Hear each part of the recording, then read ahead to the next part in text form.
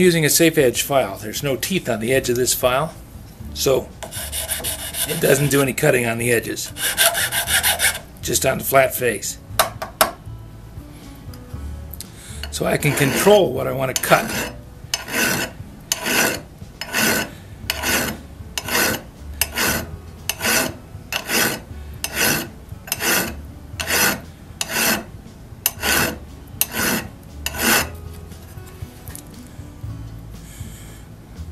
Now you can see the dull edge there and how much I'm changing the angle. This should be sharp enough to slice, about a 30 degree, kind of like a plane blade. You want it to go in and, and slice the wood away. When it's blunt, it tends to scrape. It still cuts, but it takes a lot of pressure to do it. And it doesn't slice smoothly, so it overloads the pilot thread and causes it to strip out.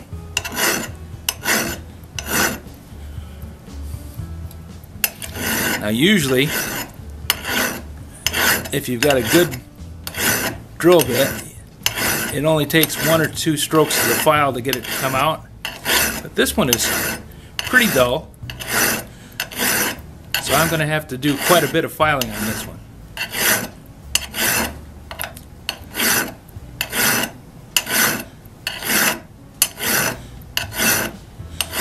Hopefully not all the ones that you're working on are going to take this much work. But the end result is what you're after. You want to have that edge right there. See how there's just a little bit of frost on the end right there? We want to have that edge sharp all the way over to the thread.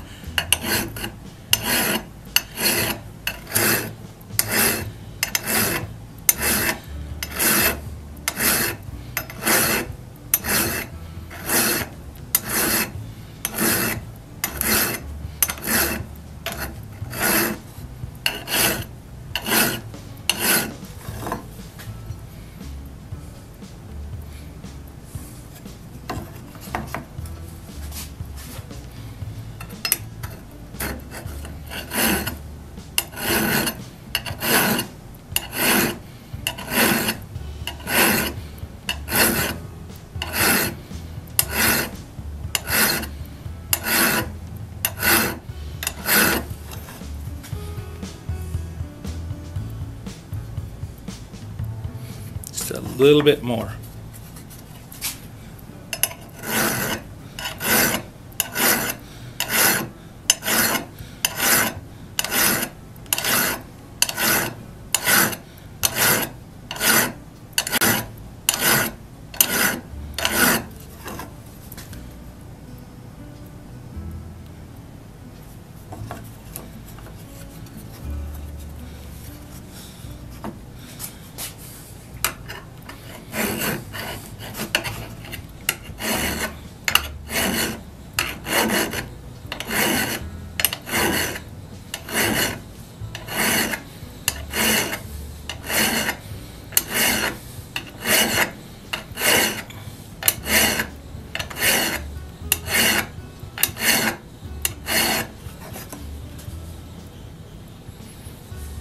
Now we've got it.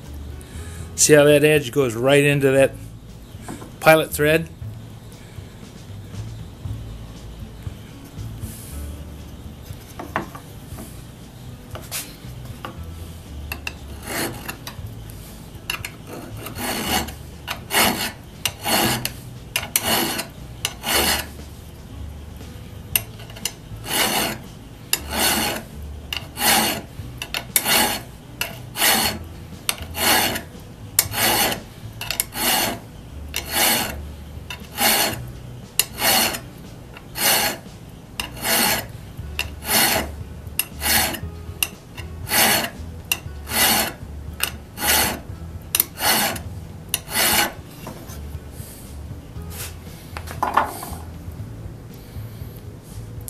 Both sides are nice and sharp now. I've rolled up a burr on the leading edge of that. And and I can take a stone and just knock that burr off. I don't want to remove a bunch of metal off the top of this because I don't want to drop this cutting edge below that engagement with the pilot thread. Now we have the pilot thread cleaned up and we have the radial cutting edges cleaned up.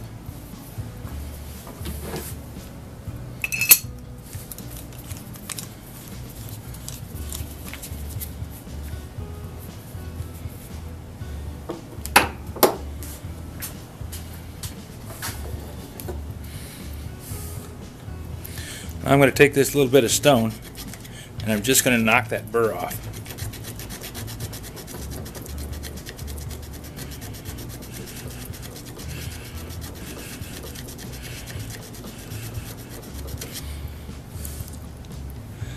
If you're patient, you can do this whole job with a stone. You could go in there with a stone and stone that edge and hone it to a perfect keenness.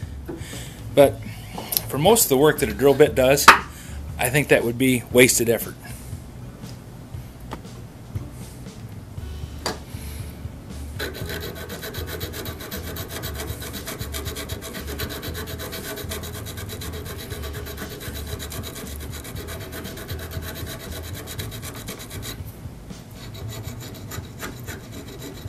Just knocking that burr off.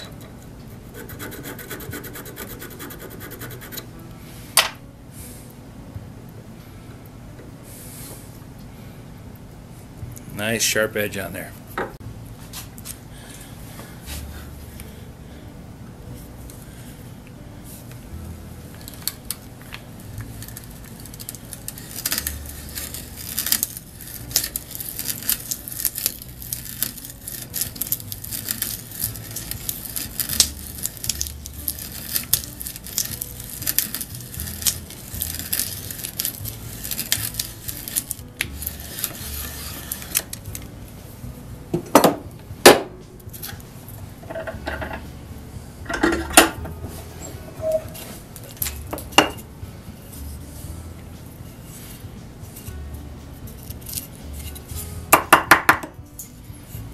Thing that'll make a difference in your cut.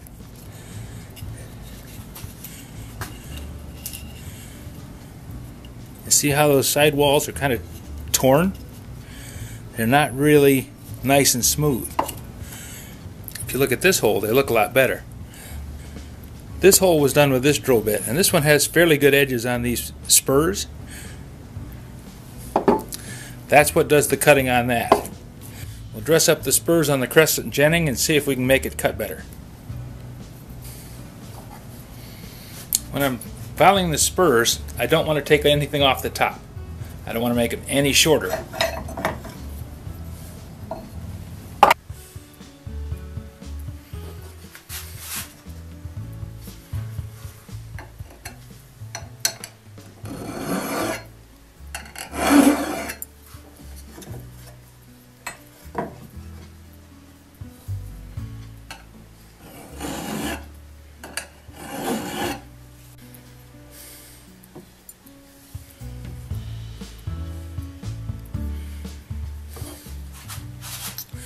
Filing the spurs, I always want to run the file this direction.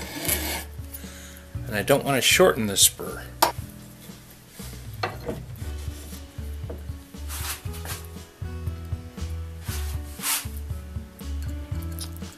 The spur has to stay long enough to scribe a circle before the radial cutting edge cuts the wood. This one is just barely there enough to do the job it needs to do.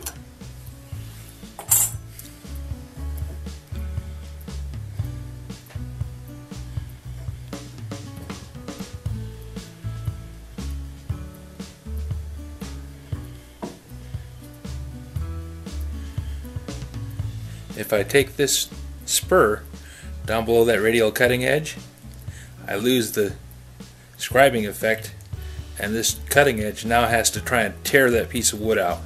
It makes a much rougher hole. If these spurs aren't sharp, if that leading edge isn't sharp so that it cuts into the wood like a knife blade, then it's going to have the same effect as if I had a piece of wood caught underneath the radial edge. It's going to tend to act like a shoe and this ramp is just going to jack this pilot thread right out of the wood.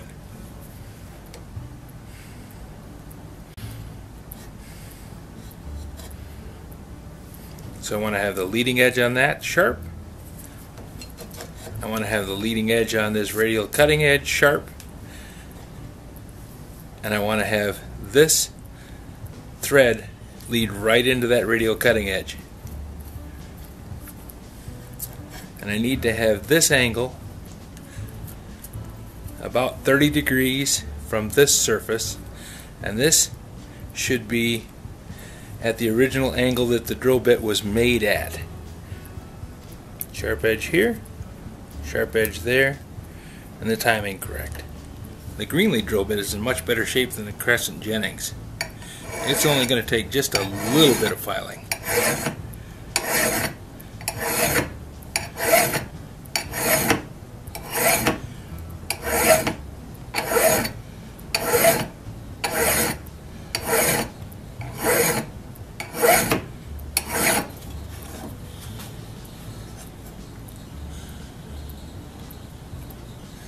Can see the shine on that edge and how it goes clear over to the screw.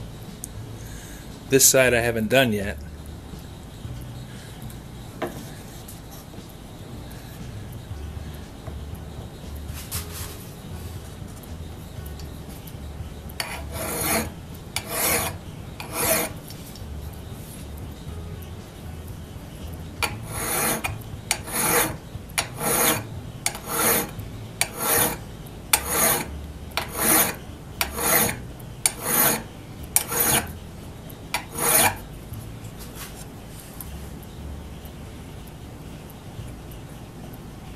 Now we have a nice smooth cutting edge there.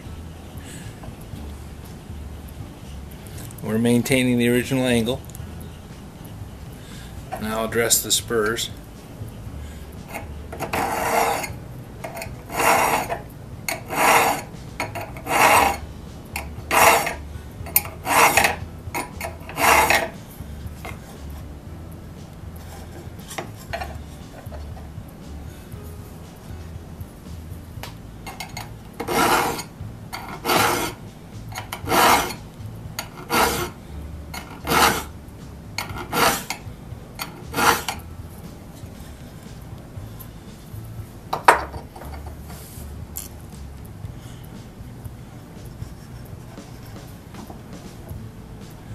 Can see the shine on the edge of the spur.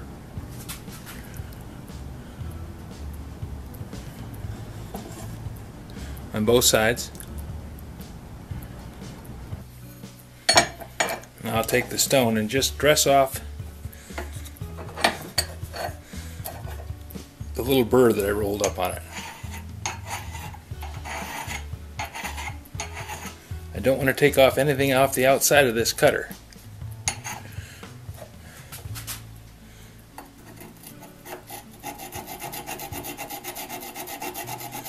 And I don't want to change the angle of this top surface either. I just want to knock that burr off.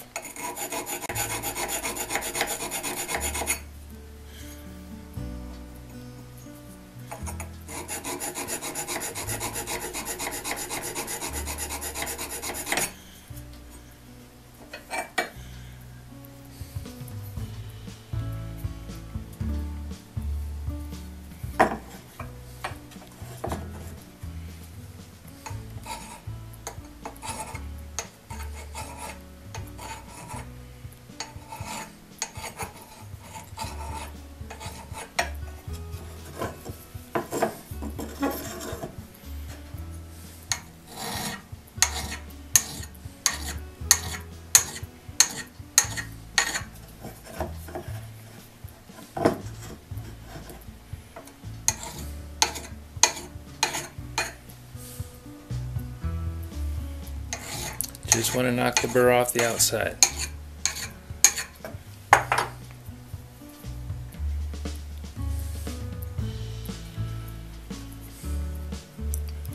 Now you can see the nice sharp edge there. That's going to slice. Nice sharp edge there. That's going to slice. My angle's good. Pilot thread is in good condition. Timing is correct. This should drill a fine hole. Now that I've sharpened the radial cutting edge with the file, I want to take this stone and I just want to knock off the burr. I don't want to take anything off this steel. I just want to knock the burr off that edge.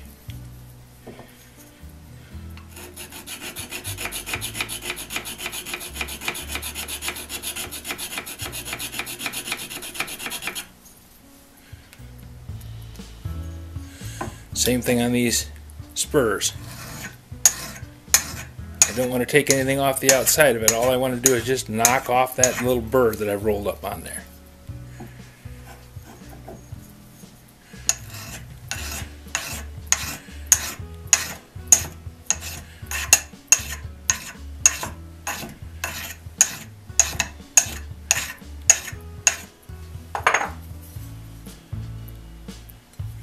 Now I have a slicing edge.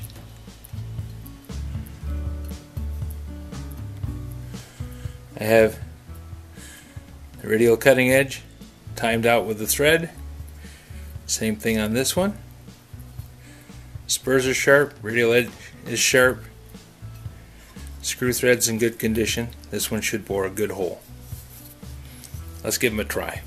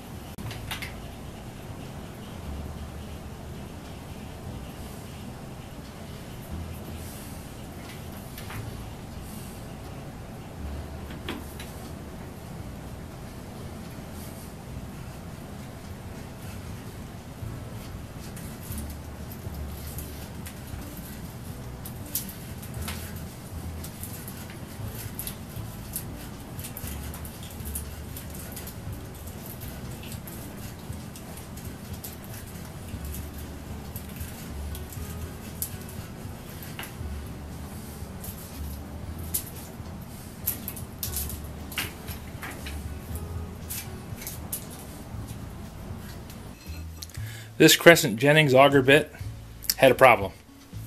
You could see that it was stopping and starting and pulling the thread out as I was doing that last hole.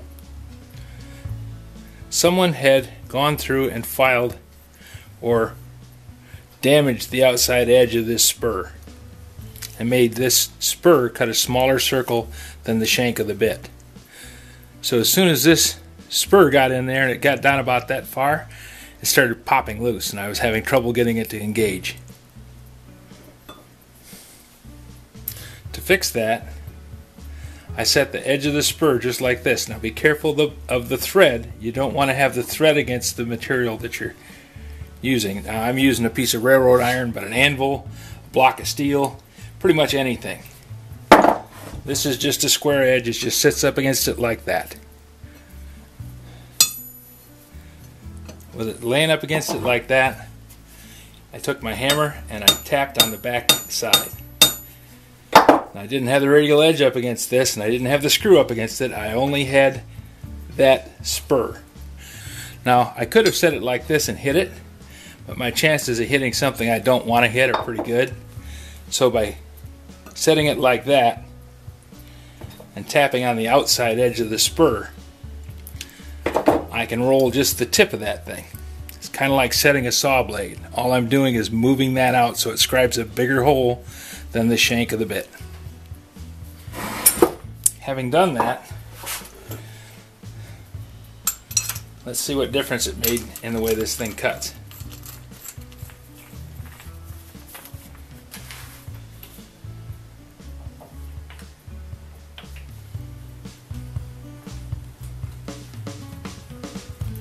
my pilot engaged. Now I'm not pushing down on the bit. I don't have my hand on top of it. All I'm doing is offsetting the force of my cranking on the handle. It's more awkward doing it this way, but this way I get to show you that I'm not pushing down. The auger bit's pulling itself right on through the piece of wood.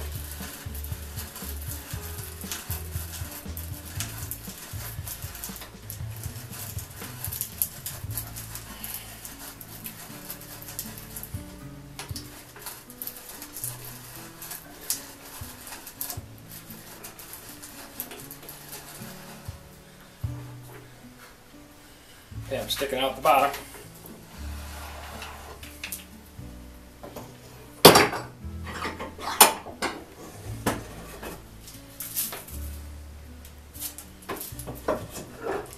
Now to avoid blowing out the bottom, I'm going to cut through from the backside.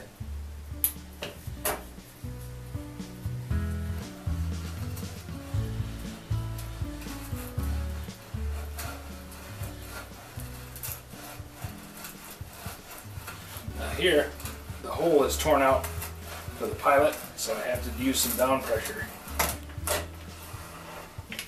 to get it to go through.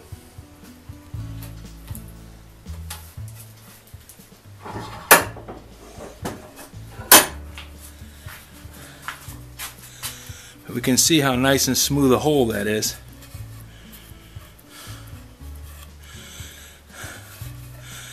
And that's the difference between a Russell Jennings type bit and an Irwin main bore type bit.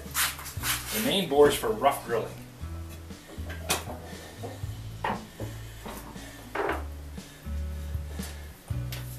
And the Jennings type bit makes a smoother cut.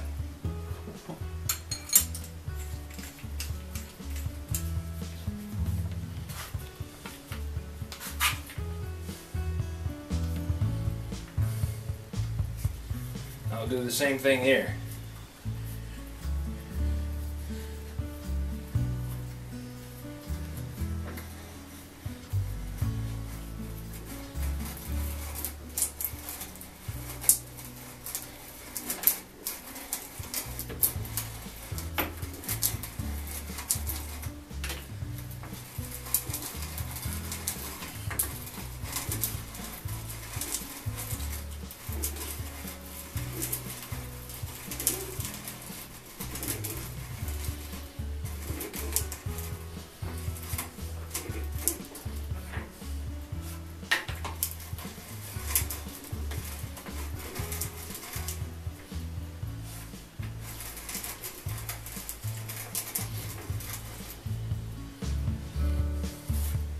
This is a number 20 bit. That means it's an inch and an eighth diameter.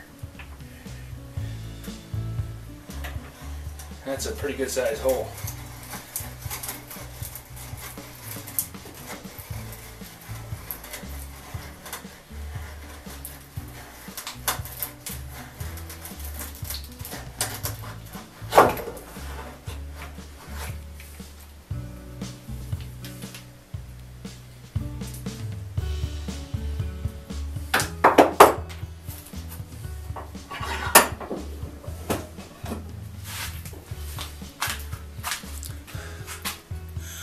And that's what two sharp bits will do. The Irwin doesn't cut as smooth a hole, but it's a lot faster.